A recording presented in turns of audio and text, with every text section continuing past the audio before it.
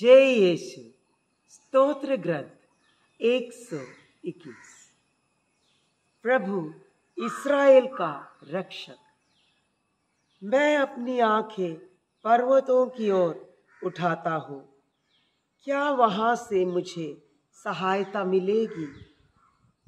जिसने स्वर्ग और पृथ्वी को बनाया है, वही प्रभु मेरी सहायता करेगा।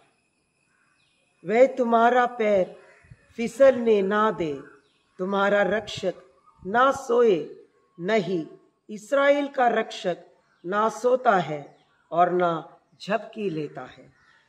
प्रभु ही तुम्हारा रक्षक है, वे छाया की तरह।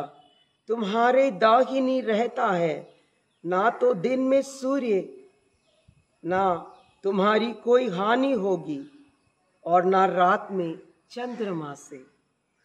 प्रभु तुम्हें हर बुराई से बचाएगा। वे तुम्हारी आत्मा की रक्षा करेगा। तुम जहाँ कहीं भी जाओगे, प्रभु तुम्हारी रक्षा करेगा। अभी और अनंत काल तक।